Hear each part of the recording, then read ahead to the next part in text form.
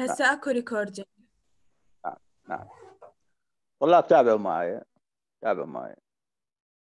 تذكرون بالمحاضرة السابقة إحنا تكلمنا عن مسار ال glycolysis ذكرنا انه هذا المسار هو من المسارات الأيضية من نوع catabolic pathway لأنه إحنا قسمنا المسارات الأيضية إلى ثلاث أنواع ال catabolic اللي هو المسارات الهدمية وال anabolic اللي هي المسارات البنائية وعندنا ال amphibolic pathway اللي هي المسارات المخضرمة اللي تجمع ما بين الاثنين.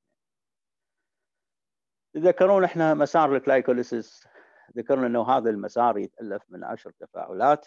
قسمناها التفاعلات الخمسة الأولى كانت مستهلكة للطاقة وتحديدا استهلكت جزيئتين من ال ATP والتفاعلات الخمسة المتبقية كانت منتجة للطاقة وكمية الطاقة اللي أنتجتها كانت هو 9 ATP فكان الصافي إنه 9 ناقص 2 يطلع عندنا بالمسار سبعة من جزيئات ال ATP طبعا هذا الكلام في حالة اذا مشى المسار في الاتجاه الهوائي ال aerobic glycolysis أما إذا كان المسار لا هوائي ال anaerobic glycolysis راح نحصل بالنتيجة النهائية على جزيئة ال lactate وذكرنا أنه مع هذه الجزيئة لا يوجد قوة مختزلة بشكل NADH لأن هاي راح نستهلكها فيكون الصافي عندنا هو الاثنين ATP مثل ما آه، امتحنا بال تتذكرون بالأيام القليلة السابقة.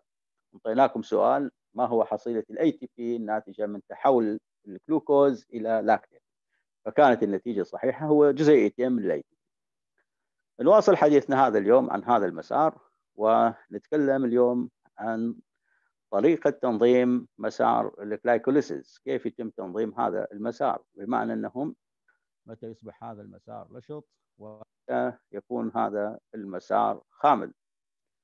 نعم تابعوا معي هذا الجدول. طبعا بداية لازم ننتبه أنه طريقة السيطرة على المسار يكون من خلال التوجيه أو التحكم بسرعة التفاعلات اللي تكون من نوع إيش؟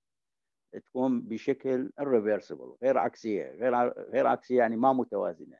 ولهذا تلاحظون بالعنوان هنا glycolysis is regulated at three steps involving no equilibrium reactions اللي تتطلب تفاعلات تكون غير متوازنة. غير متوازنة يعني تحدث باتجاه واحد فقط. ما هي هذه التفاعلات؟ لاحظون هذا الجدول يصنف لنا التفاعل رقم واحد اللي هو تحول الجلوكوز إلى الجلوكوز 6 فوسفات هذا اللي تلاحظوه أمامكم. تفاعل رقم واحد. تحول الجلوكوز إلى الجلوكوز 6 فوسفات تم هذا التفاعل بمساعدة واحد من هذول الانزيمين اللي تشوفون أمامكم. واحد سميناه ال glucokinase والثاني هو ال hexokinase وهذول من نوع isozyme سبق أن تكلمنا عنه. أيضا تلاحظون التفاعل رقم ثلاثة. يتم السيطرة على هذا المسار من خلال التفاعل رقم ثلاثة. هذا التفاعل. أيضا كان من نوع ال irreversible يعني تفاعل غير عكسي. ومشى هذا التفاعل بمساعدة الأنزيم الواضح أمامكم وهو أنزيم ال phosphofructokinase 1 ال phosphofructokinase 1 وأيضا التفاعل الأخير التفاعل رقم 10 وهو تفاعل تحول phosphoenol ال pyruvate إلى جزيئه ال pyruvate اللي هي ال end product لهذا المسار بمساعدة أنزيم ال pyruvate kinase ال pyruvate kinase اذا راح تلاحظون أكو عندنا activator منشطات وعندنا inhibitors اللي هي المثبطات. المنشطات والمثبطات نعم هذه راح تتحكم راح بمن راح تتحكم بالإنزيمات راح تتحكم بهذه الإنزيمات الثلاثة الواضحة أمامكم. تلاحظون الإنزيم الأول وهو إنزيم ال glucokinase أو hexokinase راح تلاحظون هذا الإنزيم ينشط عندما يكون مستوى الجلوكوز عالي. تلاحظون جزيئه الجلوكوز تعتبر محفز لنشاط هذا الإنزيم. في حين تلاحظون عندما يكون الجلوكوز بشكل مفسفر وحتى الفركتوز تلاحظون بهذا الشكل الجلوكوز 6 فوسفات أو فركتوز 6 فوسفات تلاحظون عندما تكون الجزيئة مفسفرة. تلاحظون إنه هذه هذه الجزيئة تأثر على نشاط هذا الإنزيم. يعني إذا الجزيئة موجودة بشكل متفسفر وبتركيز عالي فماكو داعي إنه يعمل هذا الأنزيم فتعمل كمثبط لهذا الأنزيم. التفاعل رقم اثنين اللي هو بالحقيقة تسلسله رقم ثلاثة في مسار ال glycolysis اللي هو تفاعل تحول الفركتوز 6 فوسفيت ما يتحول إلى فركتوز 1 6 diphosphate بمساعدة انزيم ال phosphofructokinase 1 تلاحظون هذا المسار أو هذا التفاعل ينشط قد ما تكون عندنا الجزيئة ال AMP ال AMP هي ال adenosine monophosphate. يعني هذه الجزيئة جزيئة تحتوي على مجموعة فوسفيت واحد هي نفس ال ATP قد ما تفقد مجموعتين للفوسفيت يعني قد ما تفقد الطاقة. نعم. بمعنى آخر قد ما يكون عندنا نقص بالطاقة قد ما تكون كمية الطاقة منخفضة. ال AMP انتبهوا عليه يا طلاب. منتج هذه الجزيئة اللي هي ال adenosine monophosphate؟ monophosphate يعني احاديه الفوسفيت. هي المفروض تكون بشكل adenosine triphosphate يعني ATP ال ATP قد ما يفقد مجموعتين للفوسفيت شوفوا طريقة التحول. ال ATP هذا قد ما يفقد مجموعة فوسفيت واحدة يتحول إلى ال ADP ال adenosine diphosphate. وال adenosine diphosphate قد ما يفقد مجموعة الفوسفيت يتحول إلى ال AMP فوجود ال AMP بكثرة بمعنى إنه أكو فقدان لمجموعة فقدان لمجموعة الفوسفيت. فاذا هذا مؤشر إنه إذا توفر جزيئه ال AMP هذا مؤشر على انخفاض الطاقة فهذا يحفز إنزيم ال phosphofructokinase 1 ينشط هذا الإنزيم. أيضا عنده جزيئه اللي هي الفركتوز 2 6 diphosphate هذه هذه الجزيئة قد ما تكون متوفرة هذه الجزيئة تنشط هذا الإنزيم. طبعا هاي الجزيئة راح نتكلم عنها بالتفصيل في المحاضرات القادمة. هاي الجزيئة تخضع لتأثير هرمون هرموني الأنسولين والكلوكاجون تشوفون عندما ما يرتفع تركيز هذه الجزيئة ينشط هذا الإنزيم ال phosphofructokinase وبنفس الوقت هذه الجزيئة آه، تأثر سلبيا على إنزيم يعمل عكس إنزيم ال phosphofructokinase 1 هذا الإنزيم نسميه الفركتوز 6 phosphatase. الفركتوز 6 phosphatase هذا يعمل عكس إنزيم ال phosphofructokinase يعني يرجع لنا التفاعل بالاتجاه من اليمين إلى اليسار. يعني يرجع لنا الفركتوز 1 6 diphosphate يرجع إلى فركتوز 6 فوسفيت وهعيد كلامي انتبهوا عليه طلاب. وهعيد كلامي. عندنا هذه الجزيئة اللي تلاحظوها أمامكم. هذه الجزيئة اللي تلاحظوها أمامكم. جزيئة الفركتوز 2 6 diphosphate هذه الجزيئة يكون تأثيره إيجابي على نشاط أنزيم ال phosphofructokinase 1 يعني تأثيره إيجابي plus نعم. طبعا هذه الجزيئة يأثر بها ايجابيا هرمون الأنسولين. هرمون الأنسولين ويأثر بها عكسيا هرمون الكلوكاجون الكلوكاجون هرمون الأنسولين هو هرمون الشبع مثل ما ذكرنا عندما ينفرز هذا الهرمون يعمل على رفع تركيز هذه الجزيئة، هذه الجزيئة من رفع تركيزها تأثر ايجابيا على إنزيم ال phosphofructokinase 1. بنفس الوقت تأثر عكسيا على إنزيم آخر تاثر عكسيا على إنزيم آخر يعمل عكس هذا الإنزيم وهو إنزيم الفركتوز 6 phosphatase. ما هو هذا الإنزيم؟ هذا الإنزيم راح ناخذه في مسار ال gluconeogenesis يعني مسار بناء الجلوكوز. تاثر عكسيا بحيث إنه ثبط لنا هذا الإنزيم وتمنع رجوع الفركتوز 1 6 diphosphate إلى فركتوز 6 فوسفيت بمعنى آخر ثبط لنا مسار بناء الجلوكوز ال gluconeogenesis بمعنى آخر عندما يكون مسار تحلل الجلوكوز نشط راح نتوقع أنه مسار بناء الجلوكوز يكون خامل يكون خامل نتيجة تأثير هذه الجزيئة على أنزيم ال phosphofructokinase 1 أيضا هرمون الأنسولين والجلوكاجون مثل ما راح نلاحظ يعني بعد قليل أنه لها تأثير على أنزيم glucokinase وأيضا ال pyruvate kinase إضافة إلى هذا الأنزيم اللي واضح أمامكم وهو أنزيم ال phosphofructokinase 1 يعني كملخص مفيد هذه الإنزيمات الثلاثة هي اللي تعتبر الإنزيمات المنظمة لمسار ال glycolysis نعم.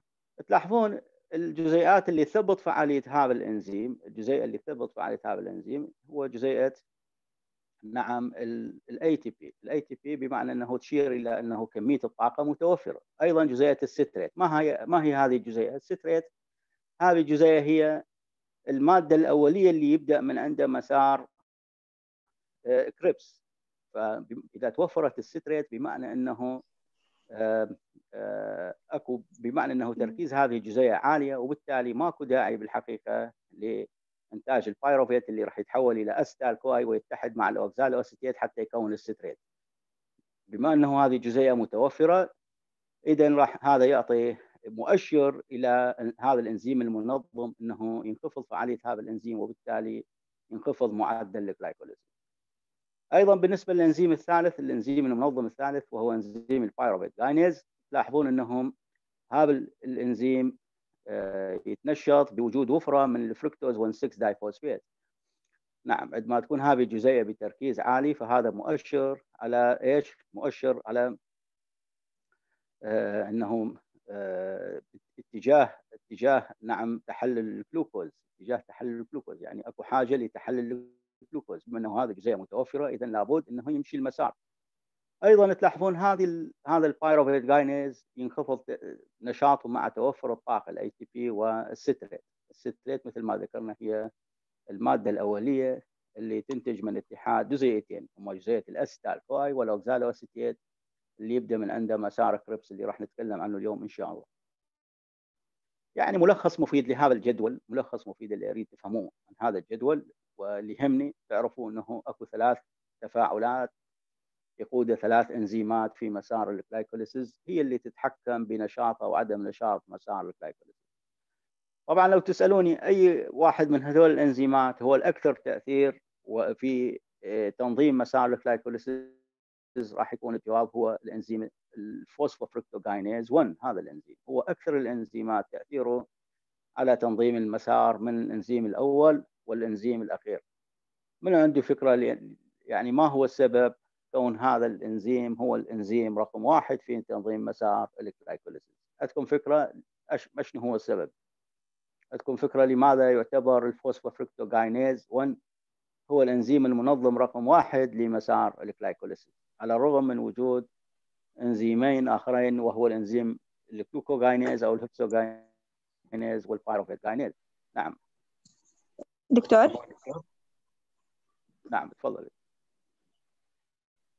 دكتور يمكن لأنه بين العديد من ال allosteric sites اللي آه، ممكن تثبط وجود ال ATP وال citrate وحفز وجود ال ADP يعني في حال وجود ال citrate معناته إنه أكو a lot of Krebs cycle uh, activating going on and a lot of energy occurring. بالاضافه أنه أكو أصلا يعني allosteric site لل F26 يعني bisphosphate اللي هو كذلك يؤدي إلى يعني وجود أيضا يعني يحفزه هذا حتى يكون الفركتوز 1,6 bisphosphate إنه حتى make more ATP لا هو إذا ننتبه التفاعل رقم ثلاثة بنفس الشيء هم عندنا ال ATP تعتبر مواد مثبطة. ما صحيح؟ صحيح. نعم. أكو فد موضوع يتعلق بهذا الإنزيم. يعني ليش يعتبر هذا الإنزيم رقم واحد في تنظيم مسار ال glycolysis بعد منو عنده جواب؟ نعم اسمك أنت العفو اللي شاركتي. راني وليد عبد الحميد. نعم راني. نسمع كلام ثاني يعني جواب ثاني. دكتور؟ نعم. لأن من خلال هذا آه، دهش عايد. نعم دهش. آه، دكتور من خلال هذا الإنزيم يعني تمت إضافة آه، فسفور ثاني ومن خلالها يعني راح نحصل على تقسيمات من بعد هذا الأنزيم تقسيمات ثانية لل... لا لا لا للجزيئات لا, ما لا ما هذا الموضوع ما هذا الموضوع. أعتقد ما عندكم فكرة لأنه وحقكم طبعا لأنه ما مشينا بالمحاضرة. الجواب لأنه راح تلاحظون الناتج النهائي لكل من هذه التفاعلات. يعني هسه من نتكلم عن التفاعل رقم واحد. الناتج النهائي هو الجلوكوز 6 فوسفيت. أيضا من نتكلم عن التفاعل رقم 10 الناتج النهائي هو ال pyruvate. لاحظون الجلوكوز 6 phosphate وال pyruvate هذول أمامهم عدة اتجاهات يعني بإمكانهم أنه يدخلون مسارات أخرى يعتبرون مواد وسطيه للدخول في مسارات أخرى. على سبيل المثال هذا الجلوكوز 6 فوسفيت أمامه مسار إنه يكمل مسار ال glycolysis وأمامه مسار آخر وهو مسار ال pentose phosphate pathway يعني بالإمكان إنه يدخل مسارين ال pentose phosphate pathway هذا راح نتكلم عنه وهو مسار إضافي لتقويض جزيئه الجلوكوز وبالامكان إنه يستمر يدخل مسار ال glycolysis نفس الكلام بالنسبة لل pyruvate. تلاحظون الناتج النهائي هذا ال pyruvate. ال pyruvate تلاحظون نعم. هذا بالإمكان أنه يتحول إلى عدة مواد إلى عدة مواد. بالإمكان أنه مثلا على سبيل المثال يختزل إلى ال lactate هذا طريق. بالإمكان أنه مثلا يتحول إلى ال acetyl CoA هذا طريق ثاني يدخل لل Krebs cycle بالامكان يتحول إلى ال oxaloacetate ويدخل مسار ال gluconeogenesis مسار بناء الكلوكوز أيضا بالإمكان أنه يختزل في بعض الكائنات ال microorganism مثلا يختزل إلى الإيثانول. فأكو عدة اتجاهات يدخل بها هذا. ولهذا تشوفون هذا الإنزيم اللي يقود هذا التفاعل ما هو الإنزيم رقم واحد في تنظيم المسار؟ نظرا لكون هذا التفاعل يدخل يشترك في أكثر من مسار. بينما الفركتوز 1,6 diphosphate تلاحظون هذا الناتج ما أمامه غير إنه يكمل مسار ال glycolysis ولهذا يعتبر ال phosphofructokinase 1 هو الإنزيم رقم واحد في تنظيم مسار ال glycolysis واضحه طلاب؟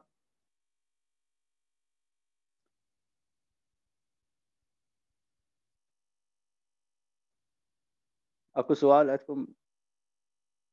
إلى حد هذه المرحلة عندنا سؤال طلاب دكتور يعني السبب لأن الأول والعاشر يعني يكون لديهم مسارات أخرى يستطيع نعم بالتالي إنه يشتركون في مسارات أخرى. وبالتالي إحنا ما نقدر نلزمهم. مثلا إذا ثبط ال glucokinase زين أو ال pyruvate kinase تلاحظ إنه هذه جزيء ال gluco 6 phosphate وال pyruvate بالإمكان إنه تدخل مسارات أخرى. بينما هنا الفركتوز 1 6 diphosphate تلاحظون انه ماكو امامه انه بس يكمل مسار ال glycolysis أو أو عندنا طريق اخر للفركتوز 1 6 diphosphate وهو الرجوع إلى الفركتوز 6 فوسفيت وهذا لا يتم الا بمساعده انزيم اخر كون التفاعل غير عكسي ما هو هذا الانزيم مثل ما ذكرت هذا الانزيم راح ناخذه في مسار ال gluconeogenesis نسميه الفركتوز 6 phosphatase ال fructose 6 phosphatase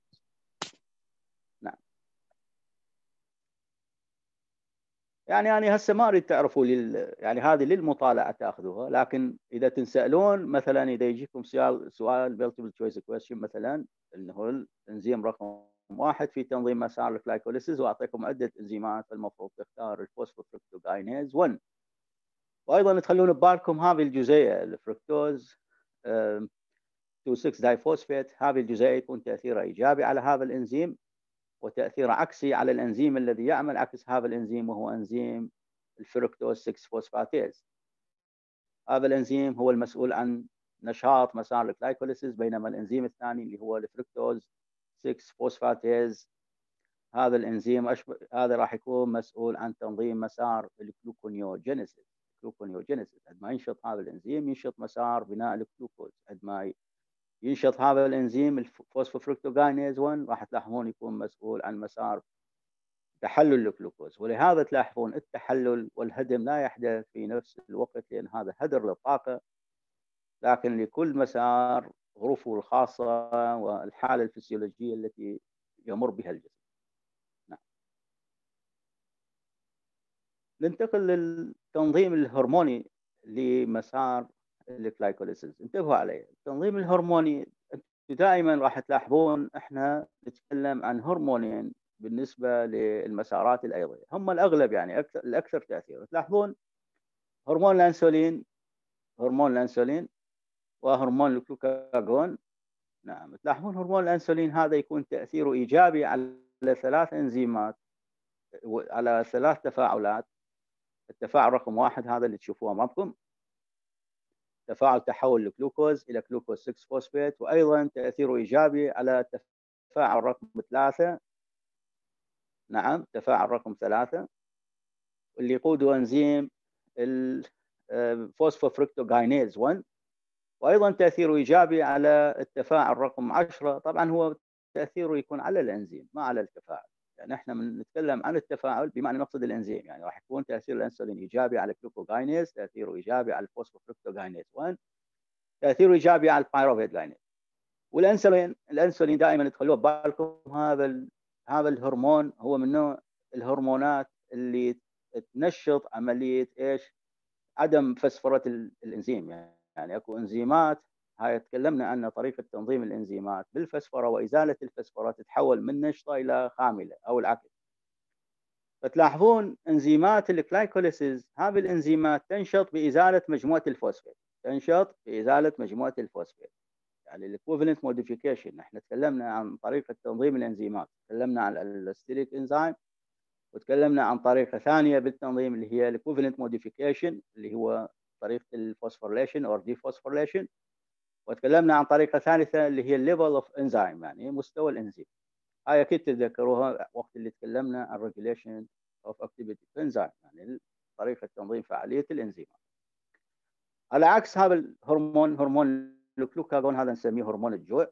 هذا الهرمون يعمل على تثبيط فعالية هذه الإنزيمات الثلاثة وهو من الهرمونات اللي تساعد على عملية ال phosphorylation ال phosphorylation للإنزيم. لهذا راح تلاحظون يعني المسارات الايضيه المسارات الايضيه بتأثير هذه الهرمونات ال phosphorylation وال dephosphorylation راح يتم تنظيم المسارات. يعني وقت اللي يكون مسار تحلل الجلوكوز نشط تلاحظون مسار بنائه يكون خامل.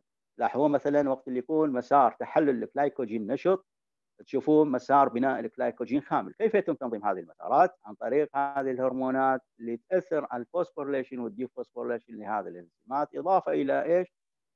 إلى أنه أكو إنزيمات ألوستيرية إنزيمات ألوستيرية هذه يعني هي بحد ذاتها تخضع لتأثير ال activator اللي هي المنشطات وال inhibitors اللي هي المثبطات واضحه طلاب؟ فمن يجيك سؤال مثلا طريقة تأثير هرموني الأنسولين والجلوكاجون على مسار ال glycolysis نعم الجواب هو هذا المخطط الواضح أمامكم.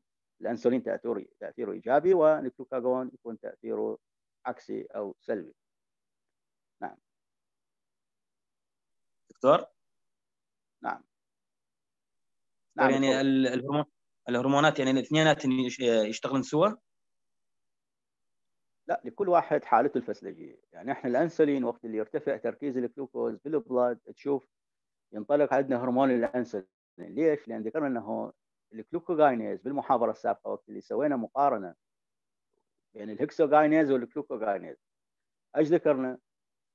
ذكرنا إنه ال glucokinase هذا إيش يعمل؟ يعمل ك sensor يعمل كمتحسس لل hyperglycemia واللي يسبب لنا انطلاق الأنسولين من ال beta cell للبنكرياس ما كلامنا هذا كان ال hexokinase هذاك يعمل بالعكس هذاك يعمل ك sensor لل hypoglycemia فكل واحد له حالته الخاصة. وقت اللي ينخفض مستوى الجلوكوز تشوف الأنس ينطلق عندنا هرمون الجلوكاجون اللي يثبط لنا مسار ال glycolysis يفهم الجسم أنه أنت الآن بحاجة إلى جزيئة الجلوكوز. فماكو داعي تسوي تحلل. أنت الآن بحاجة إلى الاحتفاظ بجزيئة الجلوكوز كونها هي إيش؟ ال main source of energy بالنسبة لل brain المصدر الطاقة رقم واحد للدماغ. زين؟ وقت اللي تشوف مثلا تركيز الجلوكوز بال blood عالي تلاحظ إنه جسم يحاول يخفض تركيز الجلوكوز من خلال إدخاله إلى الخلايا فينطلق عندنا هرمون الأنسولين اللي يساعد على دخول الجلوكوز إلى الأنسجة ويحدث عندنا مسار ال glycolysis يعني ينشط عندنا مسار ال glycolysis.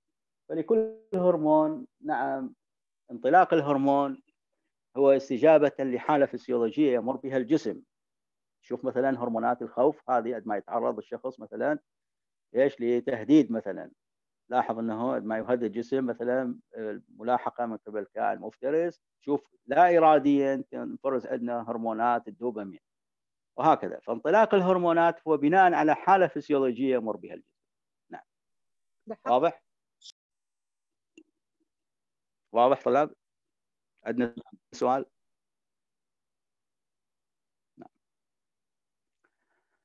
الآن راح نراجع ال number of ATP formation in the catabolism of one mole glucose by glycolysis. يعني إحنا هنا راح نراجع التفاعلات يعني هذا الجدول كأنه مراجعة التفاعلات المستهلكة والمنتجة للطاقة. هذا ما في شيء.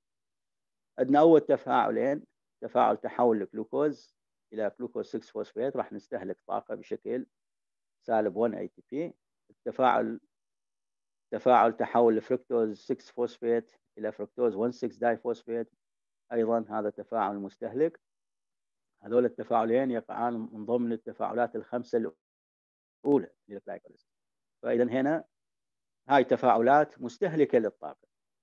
بالمقابل عندنا تفاعلات منتجة للطاقة. التفاعل رقم واحد هو تفاعل ال glyceraldehyde 3 فوسفات هذا من يتحول إلى 1 3 diphosphoglycerate راح ينتج لنا 2 NADH وكل NADH تعادل لنا 2.5 ATP فتكون المحصلة 5 ATP أيضا تلاحظون التفاعل التحول ال 1 3 diphosphoglycerate إلى 3 phosphoglycerate هذا ينتج لنا جزيئتين من ATP فهو تفاعل منتج. وعندنا التفاعل الأخير تفاعل تحول ال phosphoenolpyruvate إلى ال pyruvate راح ينتج لنا جزيئتين من ATP. فاذا التفاعلات المنتجة تسعة والمستهلكه اثنين فتسعة ناقص اثنين يطلع عندنا صافي 7 ATP يطلع عندنا صافي سبع جزيئات لل ATP هذا بالنسبة لل aerobic glycolysis بال anaerobic glycolysis تلاحظون إحنا راح نستهلك ال NADH ما عندنا NADH فتلاحظون هذه التسعة راح ينقصها خمسة فهي بالأصل راح تكون أربعة فأربعة ناقص اثنين يطلع عندنا صافي اثنين. يطلع عندنا صافي اثنين. واضحة طلاب؟ يعني هذا كأنه مراجعة كأنه هذا الجدول يراجع لكم التفاعلات المنتجة والمستهلكة للطاقة.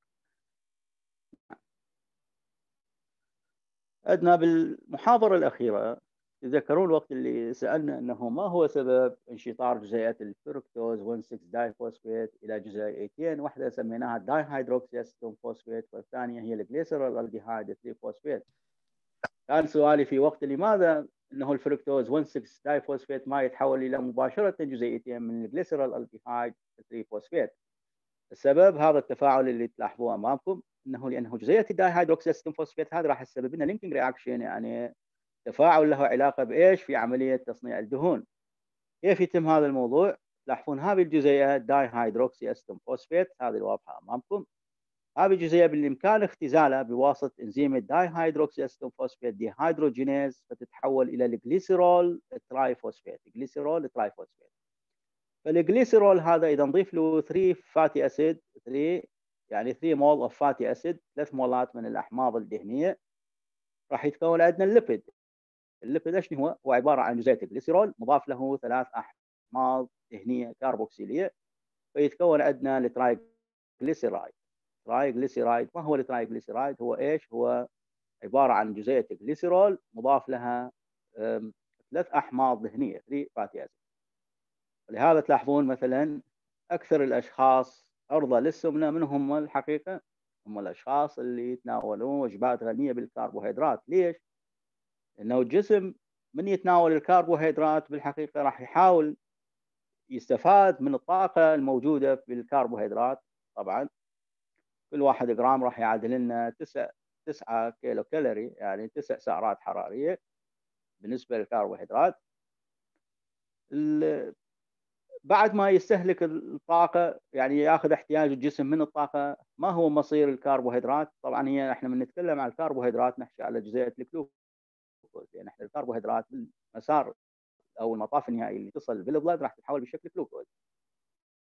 الجسم بعد أن ياخذ الطاقة من الجلوكوز فإذا فاض من الجلوكوز راح يخزنه يخزنه بشكل جلايكوجين يخزنه بشكل جلايكوجين بعد ما امتلأت عندنا الخزانات خزانات الجلايكوجين ما هو تصرف الجسم؟ تصرف الجسم راح يبدي يحول السكريات إلى دهون يخزنها بشكل دهون. كيف يخزنها بشكل دهون؟ عن طريق هذا التفاعل يحول لنا ال dihydroxyacetone phosphate إلى ال glycerol 3 phosphate وهذا يضاف له ثلاث أحماض دهنيه وبالتالي يتم خزن الدهون بال adipose tissues بالانسجه الدهنيه بشكل triacylglyceride يعني هذا ال TG اللي رمز هذا ال triacylglyceride هو إيش هو خزين خزين ال lipid خزين ال lipid بال adipose tissues بالانسجه الدهنيه بينما خزين الكربوهيدرات إيش نسميه؟ نسميه ال glycogen ال glycogen واضح طلاب؟ مفهوم؟ عندكم سؤال؟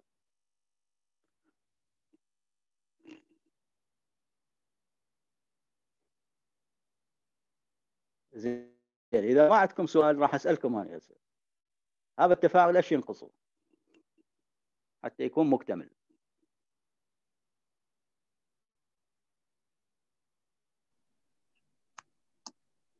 دكتور؟ نعم. AT ATP يعني ناقصه؟ عرف نفسك. محمد نشوان إيه، محمد هاي وحدة عليك. ليش يعني؟ يعني صحيح ولا غلط. لا غلط أكيد. ها. ATP يحتاج تشوف التفاعل. ها إيه نعم. نعم طلاب نسمع من عندكم إيش يحتاج هذا التفاعل؟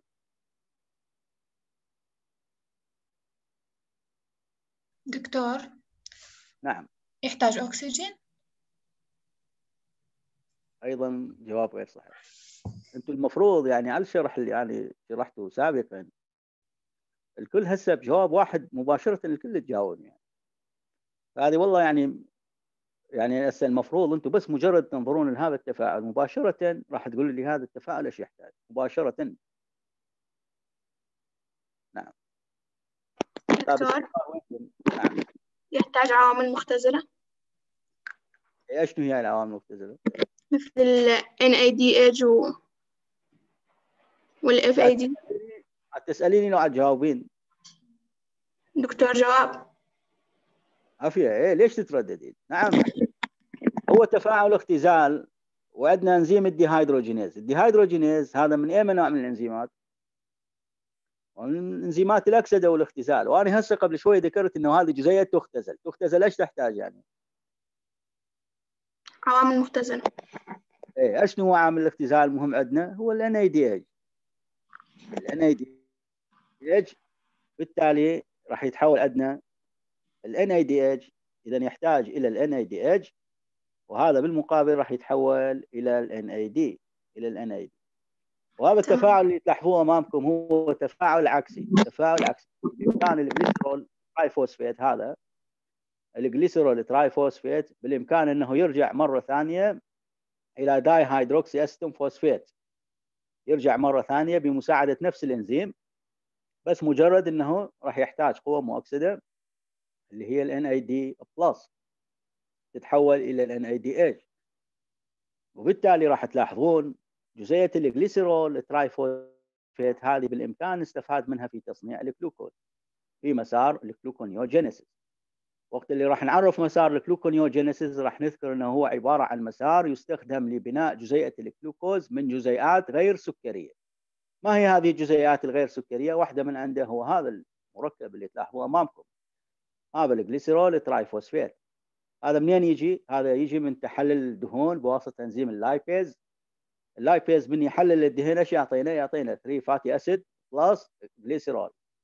glycerol 3 phosphate. فهذا بمساعدة هذا الأنزيم إحنا إيش ذكرنا هذا التفاعل هو إيش يخلق لنا linking reaction يخلق لنا علاقة ما بين مسارين مسار ال glycolysis وال lipid synthesis صح ولا ليش تترددون يعني؟ واضحه طلاب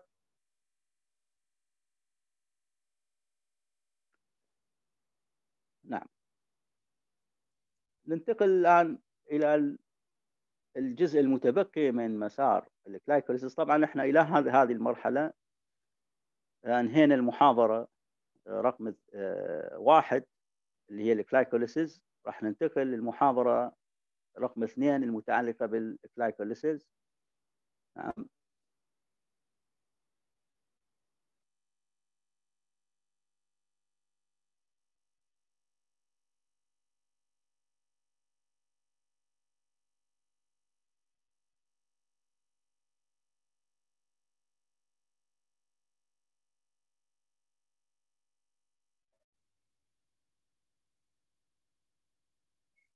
نعم تابعوا معي طلاب. نتكلم الآن عن ال fates of pyruvate يعني مصير ال pyruvate يعني هسه بالاتفاق إحنا الآن أنهينا مسار ال glycolysis من خلال تحويل جزيئة الجلوكوز إلى إيش؟ إلى جزيئات ال pyruvate تم هذا التحويل بمساعدة عشر تفاعلات. التفاعل الأخير وهو تفاعل تحول phosphoenol ال pyruvate إلى ال pyruvate باستخدام أنزيم ال pyruvate kinase اعطانا هذا الناتج النهائي. هذا الناتج النهائي واحد من الطرق اللي راح يسلكها هو معروف عندكم هسه. ما هو هذا الطريق اللي يجي ببالكم هسه؟ الطريق رقم واحد اللي يجي ببالكم هسه بتحول ال pyruvate إلى acetyl CoA؟ قبل ال acetyl CoA. اكو شيء دائما نذكره دائما نذكره. سبق يعني ملينا lactate. جمعنا شيء عافية ال lactate هذا ال pyruvate يختزل إلى ال lactate. إيش وقت يختزل إلى ال lactate؟ من يكون ماكو هواء يعني العفو من يكون ماكو O2 الظروف اللا هوائيه عندما تكون كمية الأكسجين قليلة وغير متوفرة. مثل أي محالة أي محالة كمية الأكسجين تكون غير متوفرة أو قليلة؟ مثلاً ذكرنا عندنا-. العضلات من تكون. بال RBCs عفو لحظة ال exercise إحنا إيش ذكر ال hard exercise اللي هو حالة التمارين الر- الرياضية. حالة التمارين الرياضية. ولهذا تلاحظ الرياضي إيش يكون معرض الرياضي من يؤدي التمرين الرياضي. إيش يكون معرض لأي محالة فسيولوجية؟ من يعرف؟ يعني ليش مثلا فريق كرة القدم هسه من يلعبون الفريق؟ زين ما مباشرة اليوم اللي بعده يجي يلعب الفريق لعبة ثانية. أشنو السبب ينطوهم راحة؟ أشنو هي الراحة؟ اشنو سببها؟ هاي سبب. التشنجات. سبب التشنجات اللي يصاب بها اللاعبين. أشنو هي التشنجات بالحقيقة؟ أشنو تفسيرها إحنا إحنا بدنا نتكلم هسه ك biochemistry. أشنو هي هذه التشنجات؟ دكتور اجهاد العضلة؟ يعني هو لا التشنجات. لا يعني لا. التشنجات هو تحول ال pyruvate إلى ال lactate. ال lactate هذا هو الحامض اللبني. ما سمعني بالحامض بال lactic acid. الحامض اللبني هذا وين يترسب؟ بالعضلات. هذا من يترسب بالخلايا العضلية. إيش يعمل؟ يخفض بي اتش الخلية. من يخفض بي اتش الخلية إيش معناته؟ هذا راح يسبب لنا التشنجات. التفسير التشنجات يعني إحنا ك biochemistry نفسر التشنج. التشنج هو ارتفاع مستوى ال lactic acid. ارتفاع تركيز ال lactic acid. وال lactic acid هذا هو حامض فبما أنه هو حامض إيش راح يعمل للبي اتش الخلية؟ راح يخفض بي اتش الخلية، عند ما ينخفض بي اتش الخلية إيش راح تظهر عندنا أعراض على الجسم؟ تظهر عندنا أعراض التشنجات. هذا هو التفسير من ناحية ال biochemistry للتشنجات. واضحة طلاب؟ فإذا الطريق رقم واحد الطريق رقم واحد لل pyruvate هو الآن هو reduction of pyruvate to lactate اذا اول مصير لل pyruvate انه اكو احتمال يختزل إلى ال lactate مشكل نعم اذا lactate formed by the action of lactate dehydrogenase is the final product of anaerobic glycolysis in eukaryotic cells the formation of lactate is the major fate of pyruvate in lens and cornea of the eye kidney medulla testes leukocytes and RBC red blood cells because these are all poorly vascularized and or lack mitochondria. يعني تفسير هذا النص ما هو؟ تفسير هذا النص عندنا بعض الأنسجة هاي اللي ذكرناها. زين اللينس كورنيا اوف ذا اي الكدني يلا testes leukocyte ال RBC كل هذه هي عبارة عن أنسجة تفتقر الاوعيه الدموية أو أو قد تكون لا تحتوي على الميتوكوندريا. يعني لا تحتوي على الميتوكوندريا ذكرنا بالمثال السابق جزيئة ال RBC كريات الدم الحمراء. فتلاحظون ال RBC هذه الجزيئة تحصل على المصدر الوحيد للطاقة لل RBC ما هو؟ هو مسار ال glycolysis مسار ال glycolysis بما أنه كمية الميتوكوندريا ما موجودة فإحنا ال pyruvate هذا ما راح يدخل للميتوكوندريا حتى يؤكسد إلى ال acetyl CoA ويدخل ال Krebs cycle ما عنده بس اتجاه واحد إنه أمامه إنه لازم يتحول إلى ال lactate. يتحول إلى ال lactate. وايش ذكرنا ال lactate هذا إيش راح يكون مصيره؟ إنه بالإمكان يدخل مسار بناء الجلوكوز بمسار ال gluconeogenesis. يرجع مرة ثانية pyruvate ويدخل في مسار بناء الجلوكوز بمسار ال gluconeogenesis. أيضا تلاحظون النص الثاني الواضح أمامكم هسه. اذا الحالة الأولى متى يتحول ال lactate ال pyruvate إلى ال lactate؟ هذا الأنسجة هذه الواضحة أمامكم. هذه الانسجه كلها تشترك في كونها أنه فقيره للاوعيه الدمويه أو قد لا تمتلك الميتوكوندريا. هذه النقطة رقم واحد. أيضا متى يتحول ال pyruvate إلى ال lactate the direction of lactic dehydrogenase reaction depend on the relative intracellular concentration of pyruvate and lactate. يعني على مستوى ال pyruvate وال lactate اذا على مستوى ال pyruvate وال lactate شوف إذا مستوى ال ال نعم. ال pyruvate إذا مستوى ال pyruvate جدا عالي تلاحظ إنه يتحول إلى ال lactate مثلا. وإذا ال lactate منخفض تلاحظ يتحول ال pyruvate وهكذا. يعني يعتمد على تركيز هذه الجزيئات. طبعا وهذا ما صحيح الكلام 100% إحنا نعتمد على ال ratio. ال ratio اللي هي نسبة ال NAD إلى ال NAD نسبة ال NAD إلى ال NAD ما تكون عندنا ال NAD عالية انتبهوا عليه طلاب وتركزون على هذا الكلام وراح تكونون مسؤولين عليه. ما تكون نسبة ال NADH نسبة لل NAD عالية. تلاحظون إنه ال pyruvate يتحول إلى lactate ليش؟ لأن ماكو داعي إنه نحول ال pyruvate إلى acetyl-CoA حتى نوفر ال NAD يعني أصلا ال NADH متوفرة. تلاحظون إذا حد حدث العكس إنه هذه النسبة تكون قليلة يعني نسبة ال NADH إلى ال NAD plus تكون قليلة. تلاحظون إنه لا يحدث العكس إنه ال lactate يتحول إلى pyruvate وال pyruvate يتحول إلى acetyl-CoA لأن هذا التحول اللي هو تحول ال pyruvate إلى ال acetyl-CoA راح يكون مصحوب بتوليد القوة المختزلة ال NADH ال NAD أيضا يعتمد على نوع النسيج. إذا كان مثلا إحنا ذكرنا بالمحاضرات السابقة وقت اللي تكلمنا على أنزيم ال lactate dehydrogenase ذكرنا إنه هذا الأنزيم هو بيكون بشكل isozyme isozyme يعني يمتلك خمس متماثلات.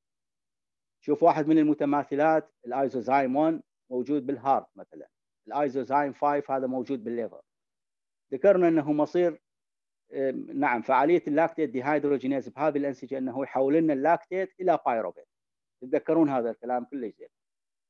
أيضا ذكرنا إنه isozyme 2 و 3 و 4 هذول وين يكونون موجودين بالعضلات؟ فقلنا pyruvate العضلات يميل إلى أن يتحول إلى إيش؟ إلى lactate.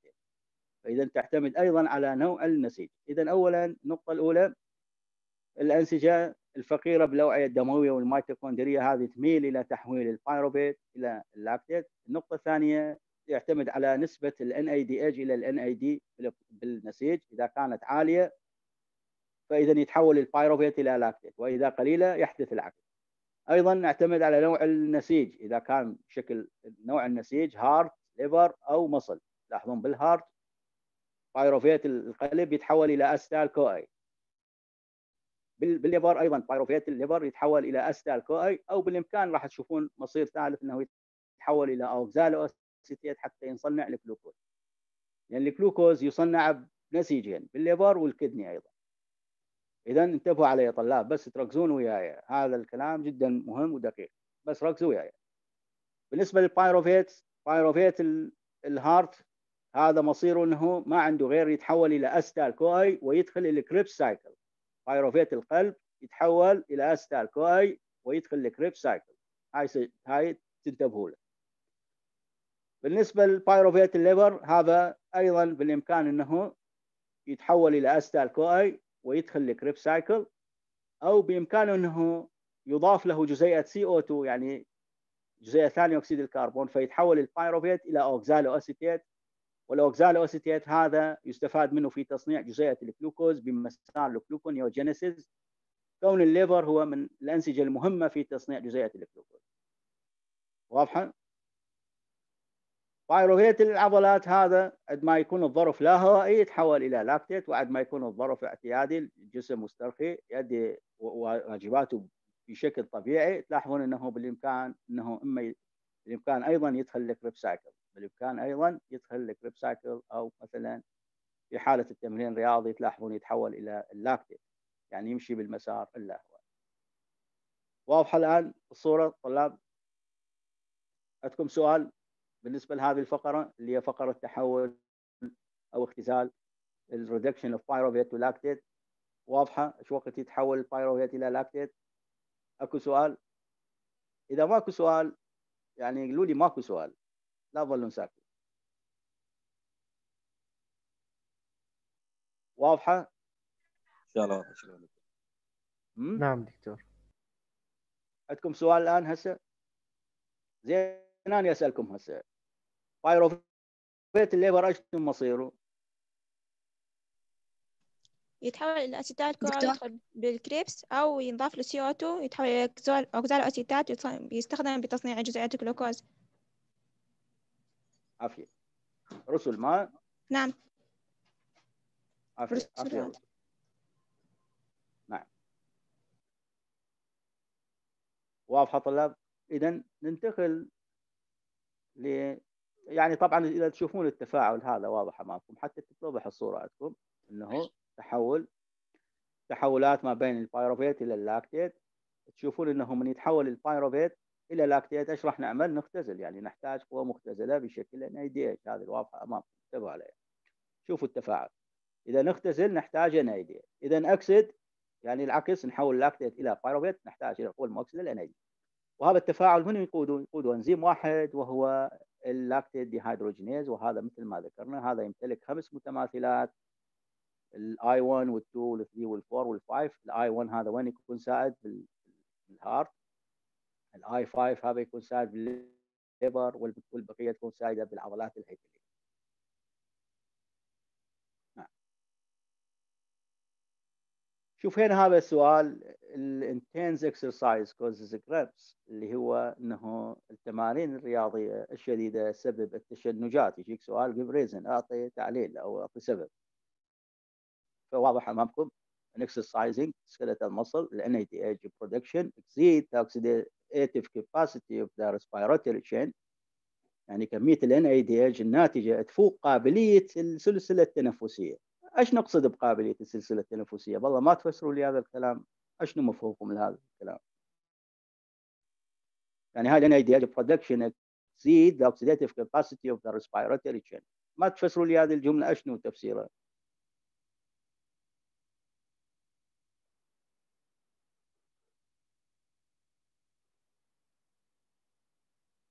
دكتور؟ نعم عرف نفسك وجاوب. دهش عايد. دكتور نعم. لأن بالريسبيرتوري تشين كنا نستخدم ال NADH آه، يعني بأعداد آه، طبيعية ومناسبة نحوله إلى ننتج من عنده ATP بس هسه صار اجهاد بالعضلة اجهاد يعني كبير. بهاي الحالة راح إنتاج ال NADH يكون كبير وما راح تلحق يعني chain يعني okay. إنتاج ال- بالضبط بالضبط بالضبط بالضبط. هو إحنا يعني العضلة ال- السلسلة التنفسية ما راح تلحق تستفاد من قوى ال NADH ليش؟ لأن امكانيتها تكون محدودة إنه راح تستقبل عدد من جزيئات ال NADH هذه راح طبعا هي ما تستقبل الجزيئات للعلم هي تأخذ الإلكترونات اللي تحملها هاي الجزيئات حتى تختزل جزيئة الأكسجين إلى ماء بالسلسلة التنفسية. فتشوف عند ما يفوق كميات ال NADH الم- الناتجه عند ما تفوق قابليه هذه السلسلة التنفسية للاستفادة من الإلكترونات اللي تحملها، الجسم إيش راح يعمل؟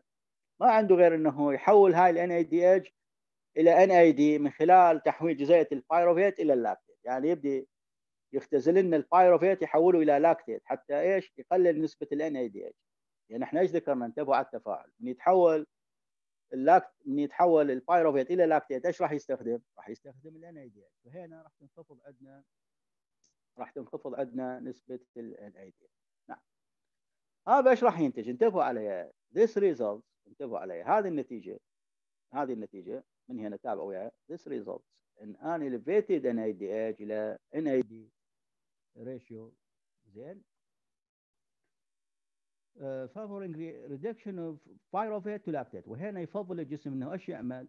يختزل البايروفيت إلى اللاكتيت therefore during intense exercise من خلال التمرين الرياضي نعم الشديد. اللاكتيت accumulate in muscles. إنه يحدث إنه تراكم لللاكتيت اللاكتيت هو نفسه ال lactic acid يعني هو بس ال lactic acid من يتأين يفقد الهيدروجين يحمل شحنه سالبة نطلق عليه اللاكتيت يعني كأنه دا نقول ال lactic acid هذا إيش راح يحدث له؟ إنه accumulates in muscle إنه يتراكم بال- بال- بالعضلة causing a drop in intracellular pH ويسبب لنا خفض ال pH وهذا يسبب لنا التشنجات.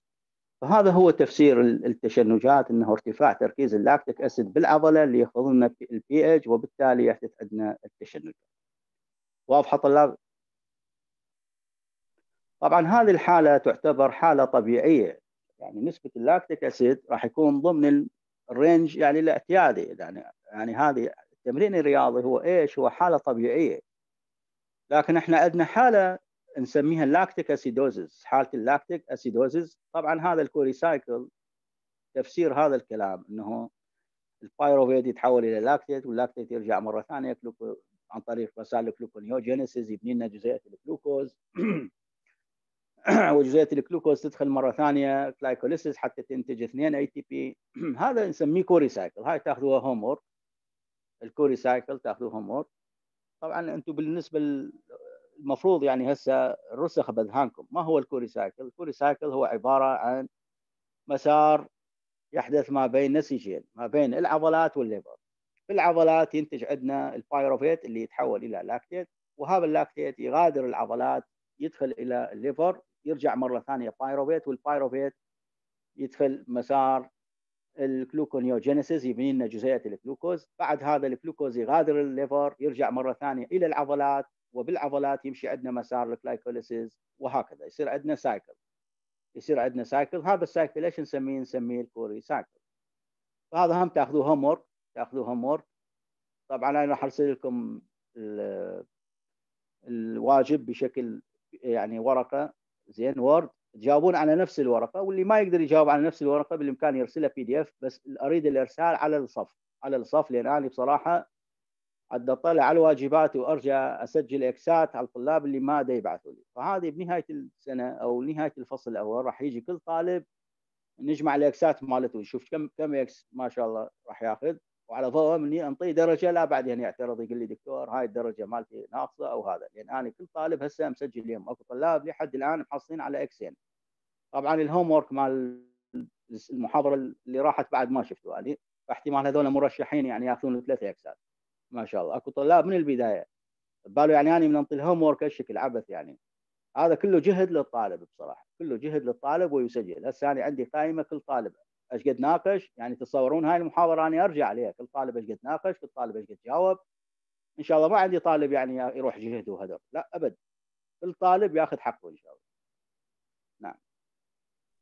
دكتور فإذا سؤال نعم نعم تفضل. دكتور في حالة التمارين الرياضية والجهد يعني دائما يكون إذا يعني بداية التمارين الإنسان يكون بداية تمارين يعني بس بأول فترة أول ثلاث أيام أربع أيام يكون يعني عليه جهد وتشنج. بعدها راح يعني يكون تقريبا شبه طبيعي أو طبيعي. يعني دكتور يعني هنا بال respiratory chain بهاي الحالة يعني يعني أخذت مسار إنه على هذا الجهد وصارت تنتج يعني NADH وإلكترونات تتحرر لا أكثر. لا لا لا لا. هو دائما مع أي جهد يتولد عندنا ال lactic acid.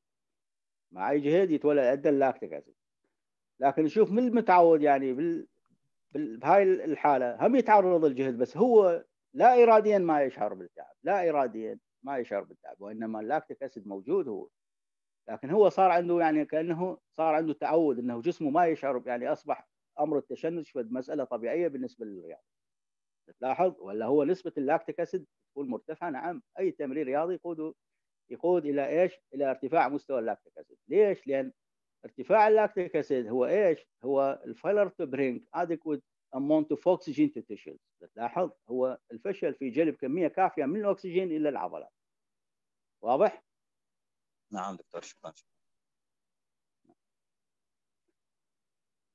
إحنا هنا أكو حالة ما تعود للتمرين الرياضي يعني ما حالة حالة غير طبيعية، عندنا حالة غير طبيعية، أشنو هي هاي الحالة الغير طبيعية؟ انتبهوا عليها حالة ال lactic acidosis state أو نسميها ال oxygen debt state، حالة التكيف لنقصان الأكسجين. هذه الحالة هي حالة مرضية تحدث بعض الأشخاص اللي يعانون من بعض المشاكل مثل ال myocardial infarction، احتشاء العضله القلبية مثلا، pulmonary embolism اللي هو انسداد الرئوي، حالة ال uncontrolled hemorrhage اللي هو حالة النزيف الغير مسيطر عليه مثلا، حالة ال shock اللي هي الصدمة.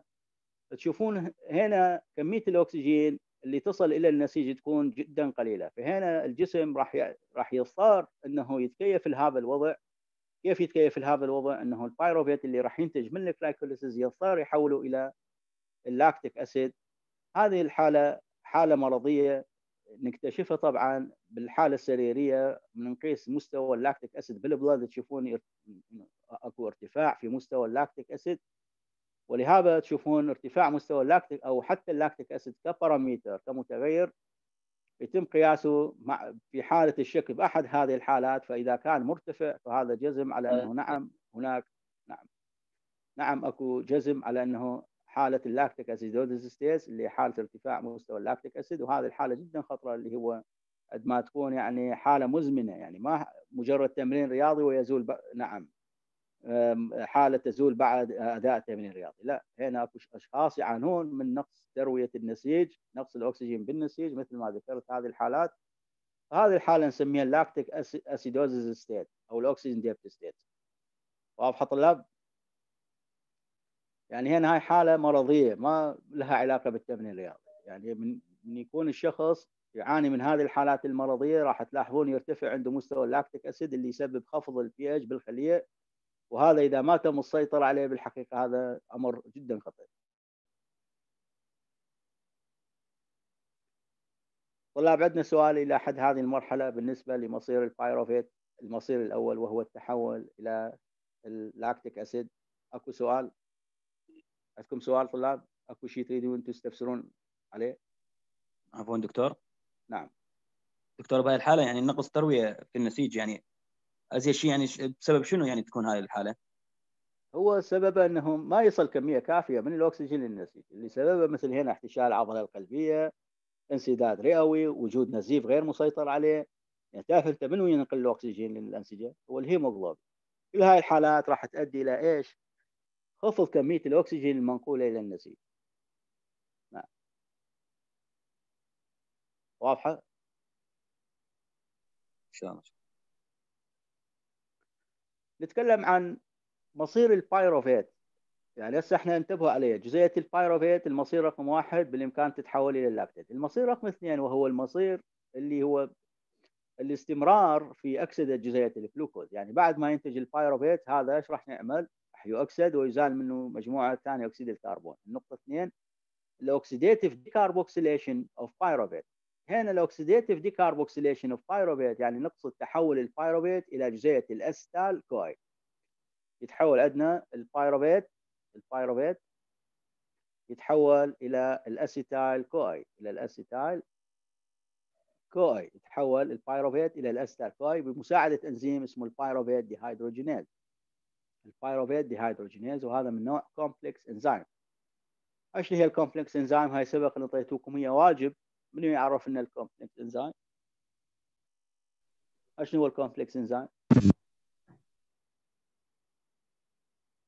نعم. complex enzyme دكتور؟ نعم. ال complex enzyme هو يعني يحتوينا على جزء protein و non-protein. ال non-protein ممكن يكون انه coenzyme لا لا إحنا بوقتها ذكرت لكم اعطيت لكم مثال على ال complex enzyme قلت لكم أكو إنزيمات نسميها الإنزيمات المعقدة واعطيت لكم إياها homework. إيش هي الإنزيمات المعقدة؟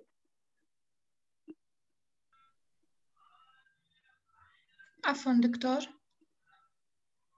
آه نعم يعني عرفي بنفسك وجاوب رند عمر. نعم. دكتور هي الإنزيمات المرتبطة بال substrate يعني السبستانت ال complex enzyme شوف أنتم ليش ما تجاوبون؟ يعني لأنه معناته ال homework اللي تبع تبعثوه يعني بس مجرد إنه اسقاط فرض. يعني من أبعث ال homework غير استفسر أعرف إيش هو الموضوع. المفروض كل اللي بعثوا ال homework المفروض هسه بنسال ما هو ال complex enzyme المفروض الكل تعرف. ال complex enzyme هو إيش؟ هو المجمع الانزيمي المعقد. المجمع الانزيمي المعقد. إيش هو المجمع الانزيمي المعقد؟ يعني معناته اكو أكثر من انزيم موجود يساعد على تحول المادة الأساسي إلى ناتج. أكثر من انزيم مجمع انزيمي أكو. يعني على سبيل المثال ال pyruvate dehydrogenase هذا هو عبارة عن ثلاث انزيمات وخمس مساعدات للانزيم. يعني ما انزيم مفرد واحد. ال complex enzyme الانزيمات المعقدة. يعني هي مجموعة من الانزيمات تعمل في مسار واحد لتحويل مادة الأساس إلى ناتج. ما انزيم واحد. أكثر من إنزيم وكل إنزيم يحتاج مساعد إنزيمي بمعنى آخر ال complex enzyme هو أكثر من إنزيم وأكثر من مساعد الانزيم هالشكل.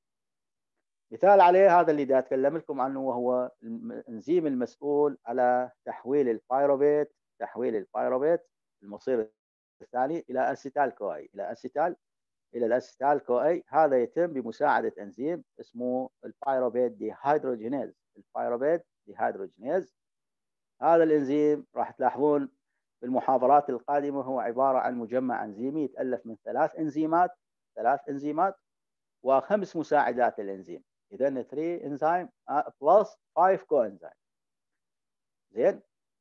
فهذا التفاعل تفاعل تحول ال pyruvate إلى ال acetyl-CoA هو بال... بالأصل إيش هو؟ هو عبارة عن تفاعل أكسدة أكسدة وإزالة مجموعة ثانية أكسيد الكربون. أكسدة وإزالة مجموعة ثاني اكسيد الكربون ولهذا نقول oxidative decarboxylation of pyruvate انتبهوا على هذا المخطط طلاب. انتبهوا على هذا المخطط.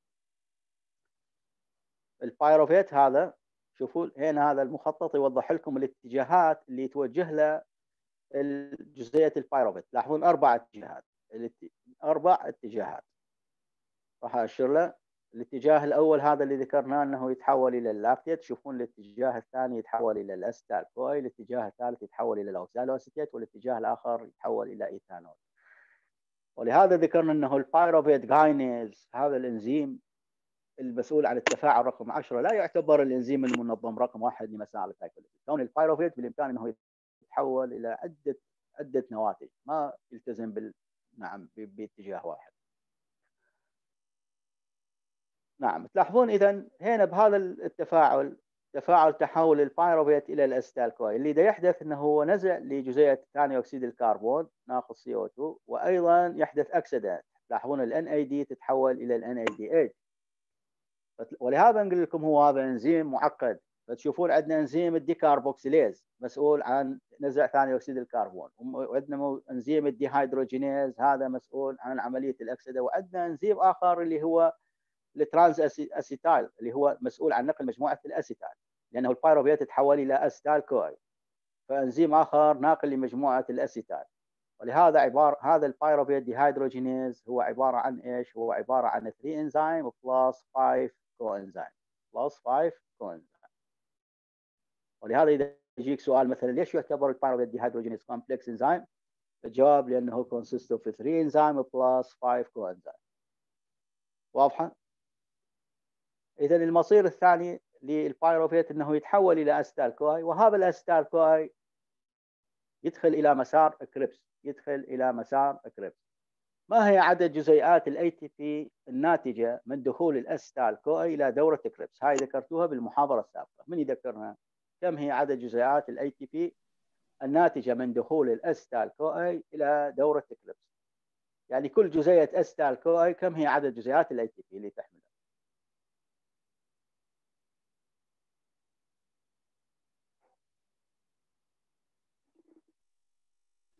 24 دكتور؟ لا يعني. طلاب اللي حضرتم محاضرة يوم الأربعاء. ال acetyl-CoA ما هي عدد جزيئات ال ATP اللي يحملها جزيئة ال acetyl-CoA؟ دكتور عشرة. عفية. عشر جزيئات. عشر جزيئات. كل جزيئة acetyl-CoA تتحول إلى عشر جزيئات من ال ATP يعني هسه إحنا نتوقع أنه جزيئة ال acetyl-CoA من تدخل ال Krebs cycle راح تنطينا عشر جزيئات ال ATP انتبهوا عليه طلاب.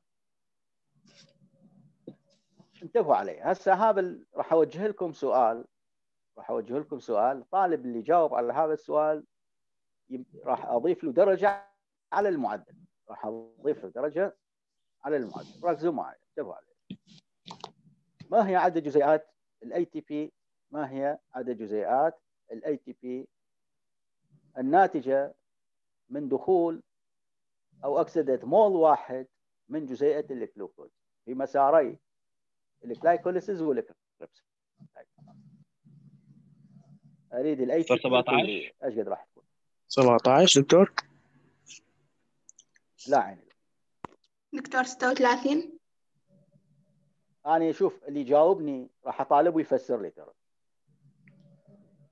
نعم الطالبه اللي ترتي 36 اذكري اسمك وفسري لي النتيجة. منين جت هاي 36 يلا. دكتور عهد مصطفى. نعم احكي لنا شلون صارت 36 دكتور كل جزيئة 3 فركتوز راح تن... أول شي 6 فركتوز راح تنشطر تصير يعني اثنين جزيئتين من الفركتوز كل ثلاثة فركتوز راح لا لا تدخل تس- دورة تحكي لي على الفركتوز لا ما هالشيء احكي لي من البداية. احكي لي من البداية. اجمعي لنا ال ATP ناتج من دخول الجلوكوز من يدخل ال glycolysis وينتهي بال Krebs cycle.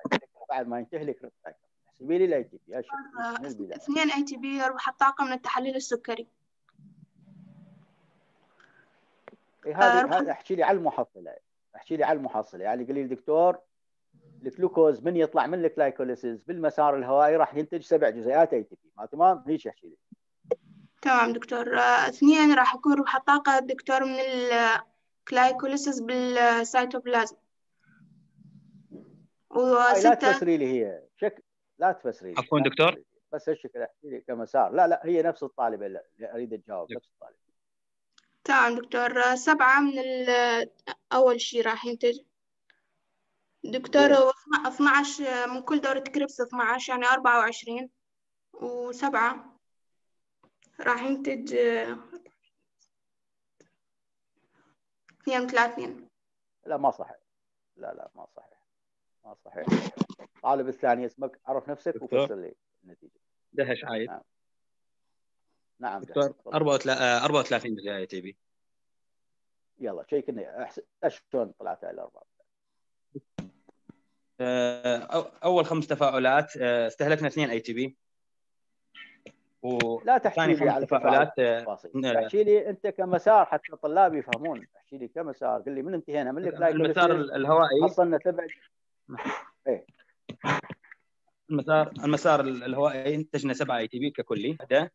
وبس إحنا عندنا جزيئتين يعني سبعه في اثنين 14 إيه، جوابك جوابك ما صحيح. ننتقل غير طالب دكتور؟ نعم. مصطفى محمد مؤيد نعم مصطفى أنت آخر واحد. يلا. اي دكتور. 32 جزيء ATP نعم احسب لنا اياه شلون 32 أول شيء تحول الجلوكوز إلى ال pyruvate. راح يعطينا 7 ATP وبإضافة جزئتين 2 اي إن هذا. ان اي دي اتش اللي مين فوت بالريسبيراتوري تشين يعطينا 5 ATP هاي منين جت هاي الخمسة ATP فسر لي من يا تفاعل N؟ ADH كل واحد تعطينا 2.5 مول ATP أعرف هي هاي ال NADH منين جت؟ منين جت هاي ال NADH مع ال pyruvate ال pyruvate إيه أشو؟ يعني هو الناتج اي بي تحول الجلوكوز إلى ال pyruvate راح يعطينا 2 pyruvate و2 NADH لا أنا أريد تفسر لي هاي الخمسة ATP أريد زملائك يفهمون منين جت هاي الخمسة AT يعني دكتور ما من ال NADH من تفوت بال respiratory chain يعطينا خمسة. يعني كل جزيئة NADH تنطينا 2.5 مول من ال ATP إيه أنت تقول سبعة زائد خمسة. هاي الخمسة منين جت؟ هاي الخمسة ATP منين جت؟ من ال respiratory chain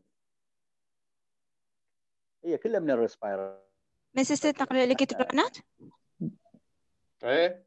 لا عيني لا. دكتور تحويل دكتور شوف هسه إحنا انتبهوا عليه. انتبهوا عليه. انتبهوا عليه. أنا أريد طالب يفسر لي النتيجة بشكل منطقي. كل ما مثلا يحكي لي يقول لي سبع جزيئات بال glycolysis انتهينا بجزيئة ال pyruvate بعدين نضيف له كذا من تحول كذا إلى كذا. بعدين من دخلت اشكال أريد واحد يفسر لي. طبعا أنا انتهت دكتور.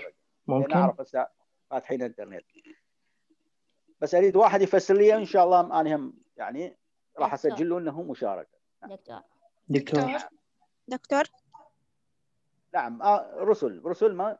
نعم. نعم تفضلي رسل دكتور من يتحول الجلوكوز إلى pyruvate راح ينتج سبعة إيه بكل اللي عندنا اثنين. فكل واحد راح ينتج سبعة وعندنا من راح يتحول من pyruvate إلى acetyl CoA كل واحد منهم راح ينتج 10 ATP. راح يكون عشرين مع هذا أربعتاشر أربعة وثلاثين؟ لا لا ما جوابك غير صحيح. دكتور ممكن؟ دكتور عفوا نعم العفو اللي دي, دي يحكي هسه منه. بس عرف نفسك وأحكي. محمد عبد الله سليمان. نعم محمد. دكتور بالبداية آه، جلوكوز يتحول إلى pyruvate ينتج لنا 7 ATP تمام؟ زين. وبعدها من يتحول pyruvate إلى acetyl CoA ينتج لنا 3 ATP في اثنين يعني ينتج لنا 6 وهناك عندنا 7 هاي إيش قد صار 13 صح؟ وبعدها يتحول الح... ال acetyl CoA يتحول إلى آه، oxalo acetate. محمد عبد الله ضحك ما راح نعم. أخليك تكمل ما راح أخليك تكمل تعرف ليش؟ ليش؟ لأنه حكيت لي شغلة أنا ما ذكرتها هسه تمام دكتور شغلة أنت اعتمدت على معلوماتك مال المستنصرين زين؟ تمام. نسمع كلام. انتبهوا عليه طلاب انتبهوا عليه.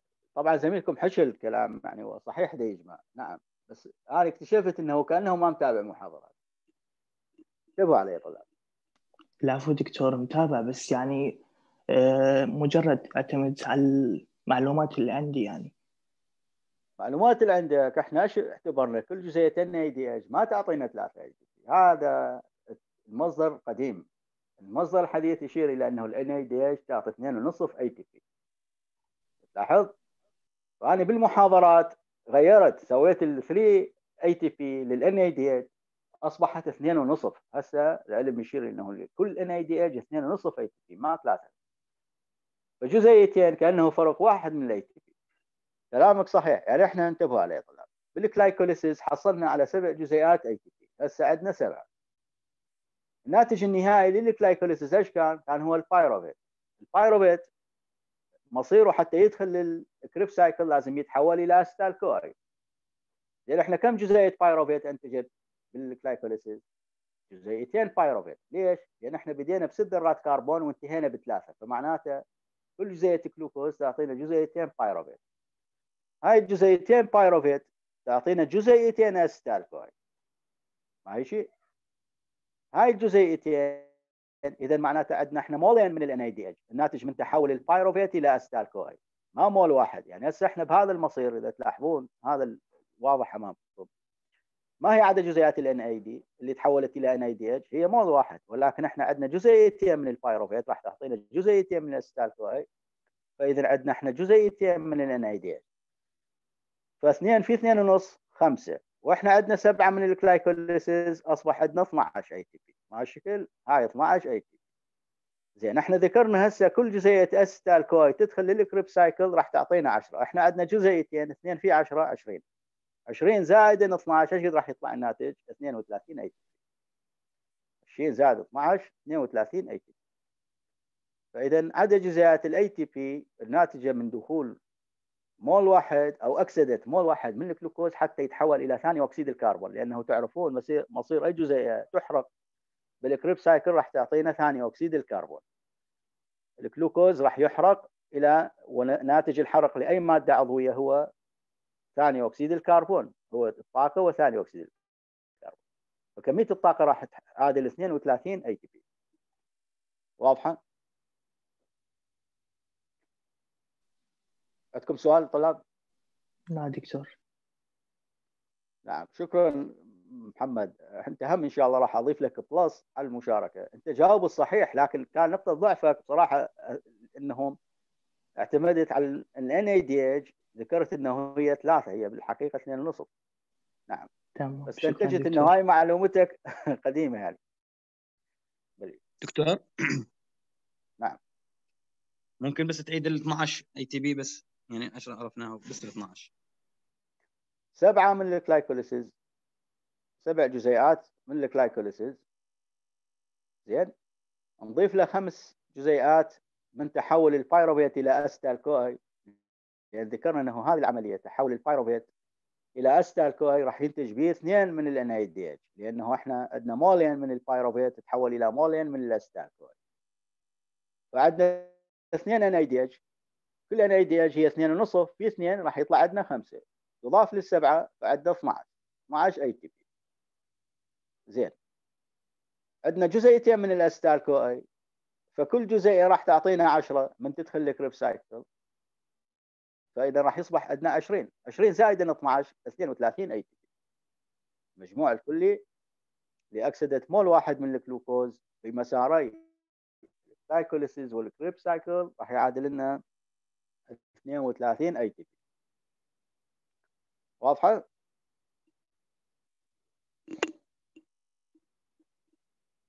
نعم دكتور نعم إذا نرجع نعم. نرجع إلى المصير الآخر. يعني هسه هذا المصير الثاني هو إيش؟ هو دخول جزيئة ال pyruvate إلى الميتوكوندريا وتتأكسد تتأكسد بالميتوكوندريا إلى جزيئة تتأكسد ويزال منها مجموعة ثاني أكسيد الكربون. تتأكسد ويزال منها جزيئة ثاني أكسيد الكربون تتحول إلى ال acetyl CoA وال acetyl CoA هذه راح تدخل ال Krebs cycle ومن تدخل ال Krebs cycle راح تعطينا طاقة مقدارها 10 ATP. كل مول يعطينا 10 ATP. اذا المصير الثاني لل pyruvate إنه يدخل ال Krebs cycle. نعم. المصير الثالث طبعا بالمناسبة قبل ما انتقل للمصير الثالث تخلوها ببالكم. إحنا راح نتكلم عن موضوع الفيتامينات لاحقا إن شاء الله.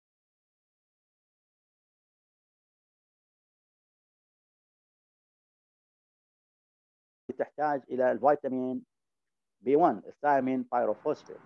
العفو دكتور يحتاج انقطع الصوت شوية ممكن بس تعيد؟ ال-.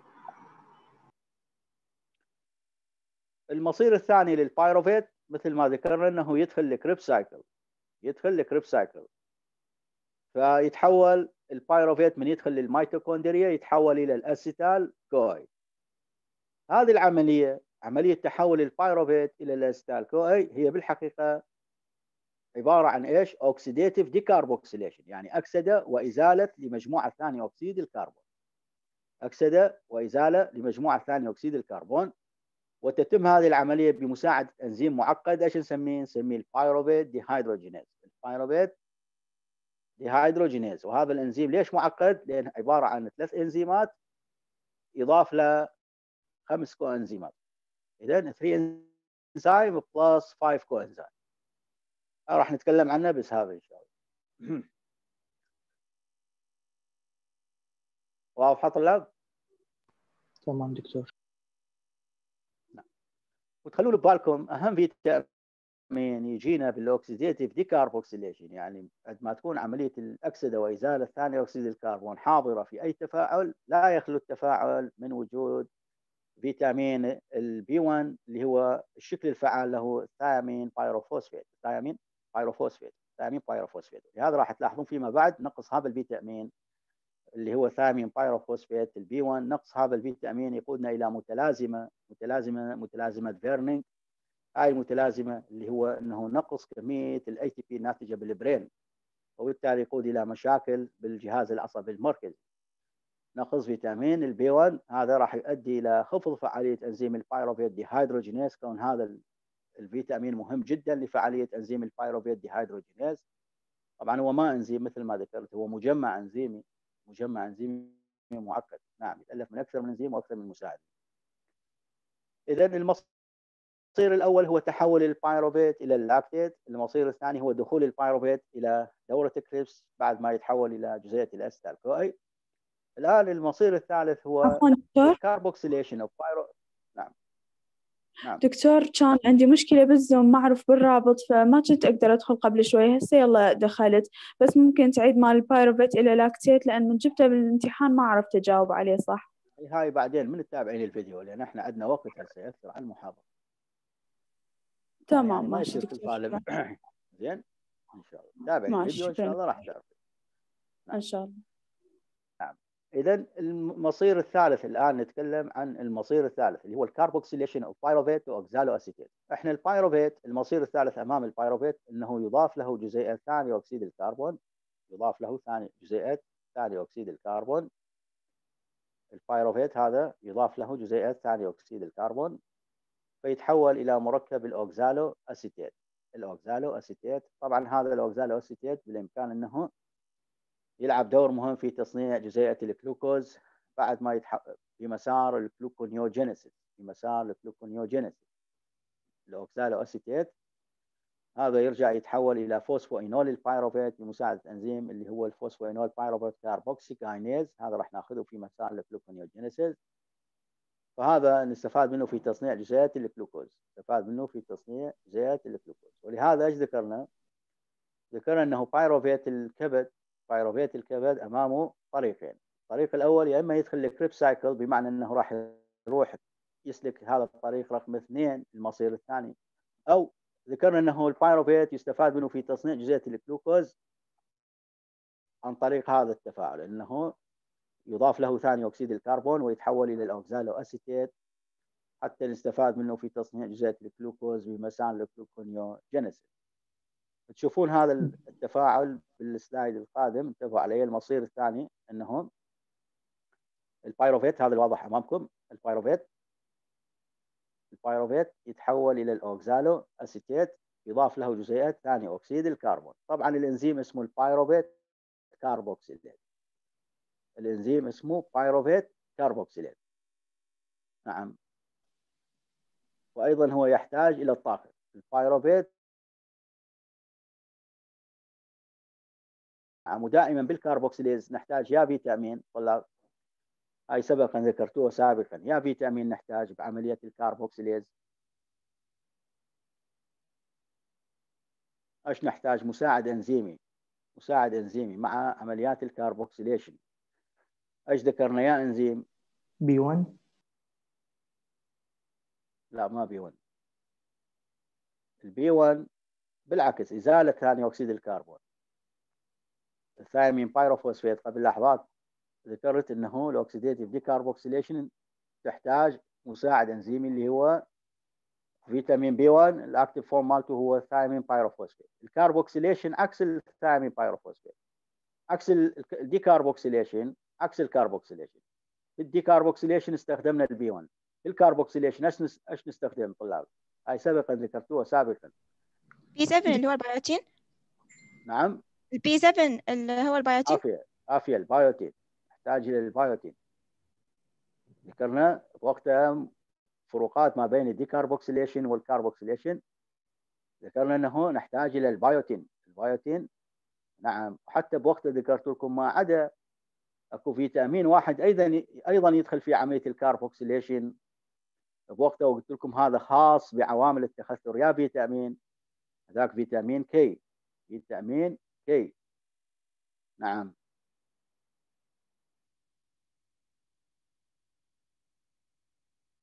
واضحة طلاب المصير الثالث لل pyruvate المصير الثالث يتحول إلى ال oxaloacetate المصير الرابع انتبهوا عليه هذا ما يحدث لدى الإنسان هذا بال microorganism بال yeast بالبكتيريا مثلا. تلاحظون بهذه التفاعلات إنه يختزل يختزل إلى جزيئه الإيثانول. طبعا هو من يختزل راح يمر بتفاعلين التفاعل الأول أيضا يفقد يفقد ثاني أكسيد الكربون. وشوفوا انتبهوا حتى يتأكد لكم كلامي. شوفوا انتبهوا هنا ال pyruvate انتبهوا على هذا التفاعل. انتبهوا على هذا التفاعل اللي هو تحول ال pyruvate إلى الأس... إلى الإيثانول. اختزل. شوف أول مرحلة فقد ثاني أكسيد الكربون. يا مرافق أنزيمي جاية role role هذا ال thiamine pyrophosphate. ال thiamine pyrophosphate قبل شوية كنا عنه بال oxidative decarboxylation فاذا بال decarboxylation نحتاج إلى ال thiamine pyrophosphate بال carboxylation نحتاج العكس نحتاج إلى البايوتين. نحتاج البايوتين كمساعد إنزيم.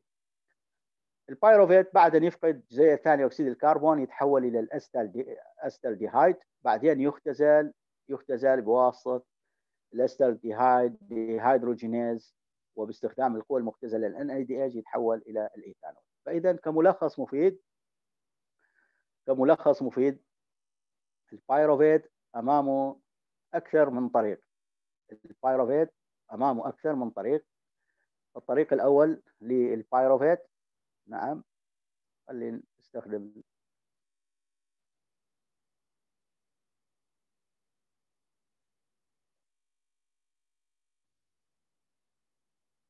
نعم الطريق الأول لل pyruvate.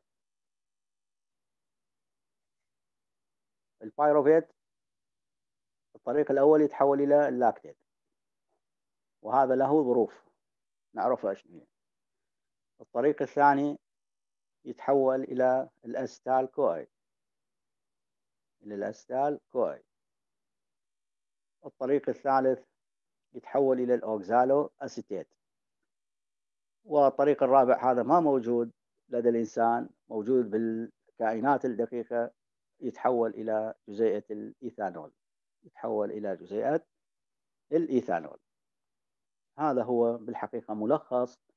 إيش؟ ملخص تحول نعم مصير ال pyruvate اللي هو ال end product of glycolysis. ال end product of glycolysis. هذه هذه النقطة نأتي إلى نهاية موضوع ال glycolysis مسار ال glycolysis. عندكم طلاب أي استفسار عن هذا الموضوع؟ نعم دكتور. نعم تفضل. دكتور بس لما يتحول ال NAD القوة المختزلة أو القوة المؤكسدة ال NAD إلى NADH أو ال NADH إلى NAD يعني دكتور بهالحالتين يعني ننتج 2 اي تي بي 2.5 اي تي بي لكل جزيئه لو فقط من ال NADH إلى ال NAD؟ فقط عندما تكون بشكلها المختزل ليش؟ لأن إحنا قلت لك نتعامل مع الكترونات ما نتعامل ويا جزيئات. إحنا الذي يحدث بال respiratory chain هو عبارة عن نقل للإلكترونات. لهذا نسميها سلسلة نقل الإلكترونات. ال respiratory chain السلسلة التنفسية لها تسمية ثانية اللي هي سلسلة نقل الإلكترونات. سلسلة نقل الإلكترونات يعني إحنا هنا بدنا نختزل الأكسجين نختزله حتى يصبح جزيئة ماء. هذه عملية الاختزال هذه من أكسجين حتى يصبح جزيئة ماء.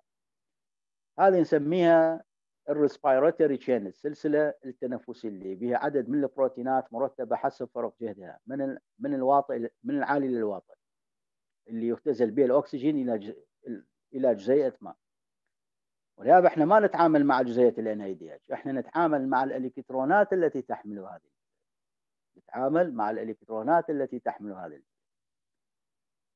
ولهذا تلاحظ إنه ال NAD نكتبه plus plus يعني يحتاج إلى إلكترون وإلى ذرة هيدروجين حتى يتحول إلى NADH يعني هو NAD plus يتحول إلى NADH ليش نكتب NAD plus يعني يحتاج إلكترون ويحتاج ذرة هيدروجين. هاي الإلكترون والهيدروجين إيش نسميه؟ ال hydride ion. ال hydride ion. واضح؟ نعم شكرا دكتور. دكتور؟ نعم. بالتفاعل السادس من ال glycolysis إحنا آه، أنت حضرتك ذكرت إنه كل تفاعل يكون anabolic آه، راح يحتاج coenzymes تكون آه، شكلها يعني مؤكسد صح لو ما صح؟ تفاعل تحول الفركتوز 1 6 diphosphate اي بالشرح أكو خط أكو أكو أكو جملة ذكرت إيه. إنه ال NADH من تحول إلى إيه، العفو. آه، ال NAD من تحول إلى NADH بعدها لازم العفو ال NADH من يتحول إلى NAD plus لازم يرجع يتحول إلى NADH مرة ثانية. مع العلم إحنا ذكرنا إنه ال anabolic pathways هي تحول لنا ال coenzymes من ال reducing form إلى ال oxidizing form ليش رجعناها إلى ال reducing form واضح سؤالي دكتور؟ لا لا ما واضح. عيني دحين انتبه علي. إحنا أنزيمات الديهيدروجينيز هذه أنزيمات أكسدة واختزال. اللي ذكرته هذا اللي ذكرته أنا. هاي الأنزيمات بما أنه هي أنزيمات أكسدة واختزال اللي يحدد طريقة إذا كان اختزال فهو دخول ال NADH لاحظ؟ يعني دخول الكوانزيم بشكله المختزل حتى يتحول إلى الشكل المؤكسد.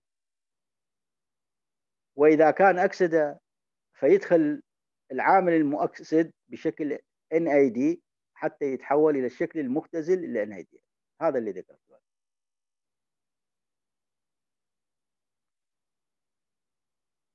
يعني تمام إحنا ما. يصير يعني ما عندنا إنه ال NADH تتحول إلى NAD وبعدين ترجع إلى NADH يعني أشنو الغاية من حصول هذه السل... يعني هنا المحصلة ال net equal zero يعني ما عندنا هنا محصله هذا عبث هذا زي... هذا ولهذا الهدم والبناء ما يحصلون بنفس الوقت. وإذا يحصلون بنفس الوقت لازم كل واحد في نسيج وهذه تحدث. حالة و... نعم.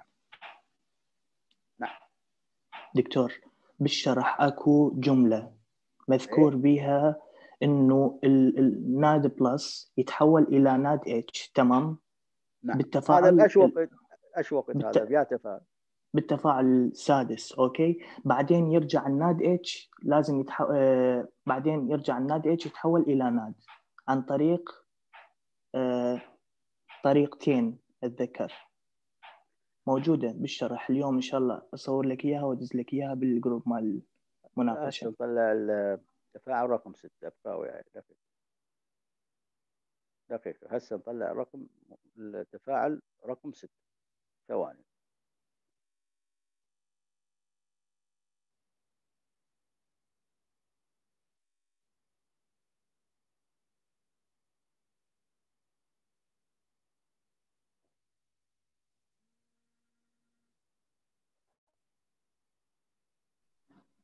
ستة أشنو سؤالك؟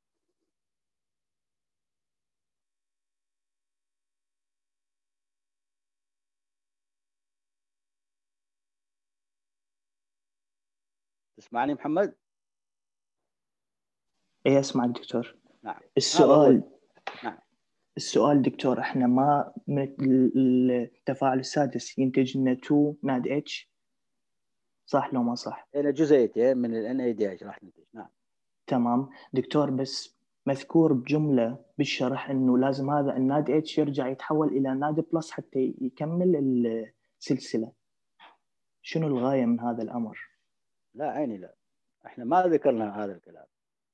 ذكرنا إنه ال glyceraldehyde 3 فوسفيت هذا يتحول إلى 1 3 bisphosphoglycerate وذكرنا إنه أكو مولين من هاي الجزيئات تتحول إلى مولين بالمقابل أكو جزيئتين. بس ذكرنا بحالة ال... ال anaerobic glycolysis في حالة المصير اللاهوائي. هذول الجزيئتين الناتجة من الاثنين NADH راح نستخدمها في اختزال جزيئة ال pyruvate إلى lactate. لاحظوا شلون؟ بهاي الحالة فذكرنا ان محصلة القوة المختزلة ل NAD هنا راح تساوي لنا صفر. بس يبقى لنا بالمص... بال... بالطريق اللاهوائي جزيئتين من الاي هذا اللي واضح؟ دكتور آسف على المقاطعة راح أقرأ لك الجملة. Because uh, there is only limited amount of NAD plus in the cell. The NAD H formed by this reaction must be oxidized to NAD plus for glycolysis to continue. Two major mechanisms for oxidizing NADH are NADH linked, linked conversion of pyruvate to lactate وال... البايروفيت إلى لاكتيت ما عاد أقول لك. ازال البايروفيت ازال البايروفيت إلى اللاكتيت هنا استخدمنا هاي الانايديا حتى نختزل البايروفيت ما إحنا إيش ذكرنا؟ ذكرنا إنه في حالة أنا ايروبيك جلايكوليسيس ما عندنا محصلة للانايدياج ولهذا الطاقة تساوي لنا 2 أي ليش ما عندنا؟ لأن إحنا اختزلنا ال pyruvate نفسه اختزلناه إلى lactate. فإيش استخدمنا؟ استخدمنا هاي القوة اللي نتجت بهذا التفاعل اللي هي قيمتها 2 NADH استخدمناها حتى نختزل ال pyruvate إلى lactate. فمعناته ما عندنا net equal zero يعني ما عندنا NADH فإيش باقي لنا؟ باقي لنا جزئيتين من ال ATP تمام شكرا دكتور لا. طلاب إلى هذه النقطة إذا ما عندكم سؤال ننهي محاضرتنا لهذا اليوم نكمل بال... إن شاء الله المحاضرة القادمة نتكلم عن ال Krebs cycle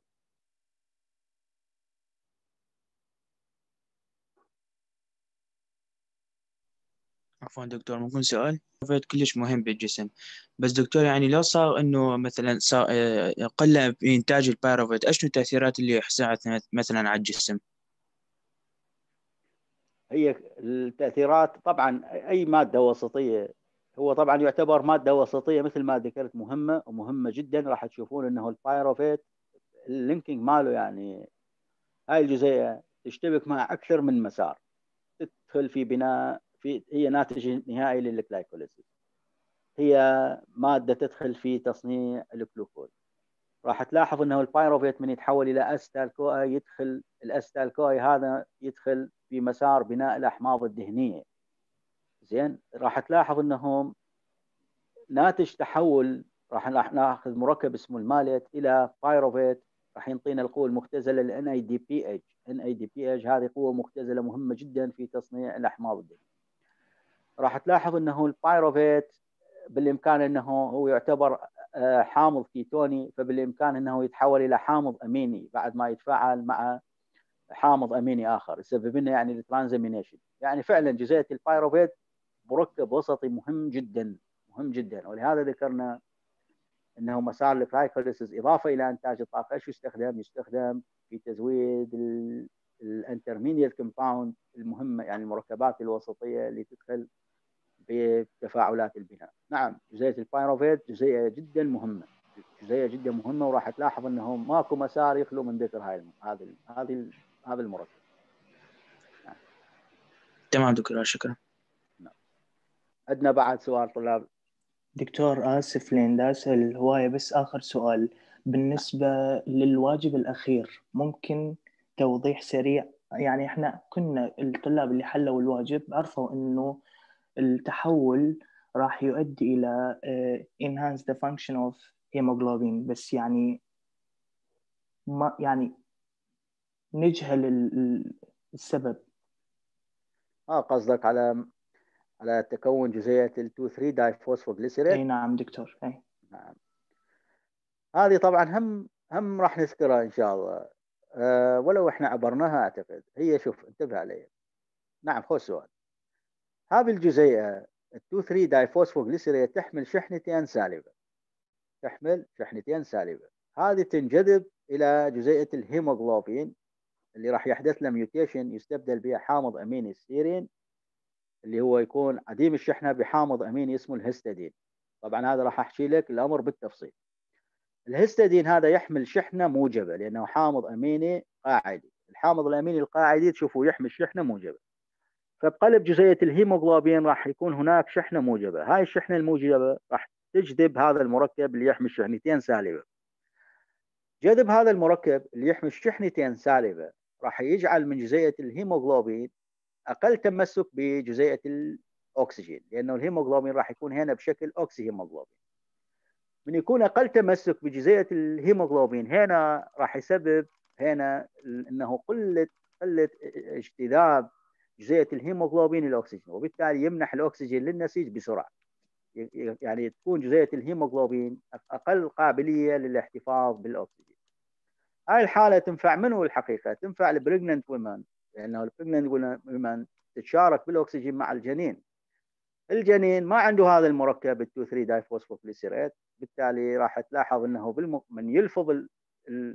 يلفظ الأكسجين من قبل هيموغلوبين الأم راح يكتسبه منه هيموغلوبين الجنين أيضا يستفيد من هذه الظاهرة الطيور بالمرتفعات العالية. تلاحظ أن هناك نقص لكمية الأكسجين فيحدث adaptation إنه تكيف يستبدل الحامض الأميني السيرين. عديم الشحنه بالحامض الأمين الهستidine في قلب جزيئة الهيموغلوبين وبالتالي ينجذب هذا المركب اللي يحمل شحنتين سالبة إلى قلب جزيئة الأكسجين ومن ينجذب إلى قلب جزيئة الأكسجين راح يجعل الوسط القلب يحمل شحنه سالبة فسالب مع سالب لجزيئة الأكسجين يحدث تنافر.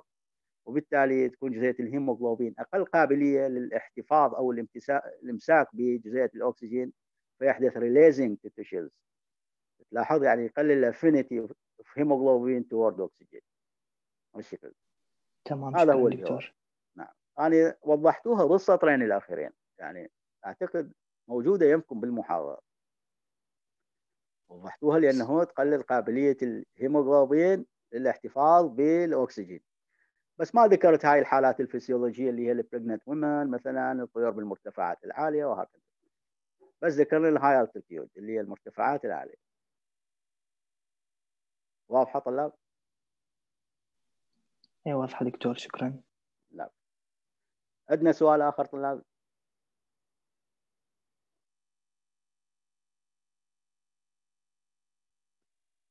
نكمل بالمحاضرة القادمة إن شاء الله. التريب سايكل. في مال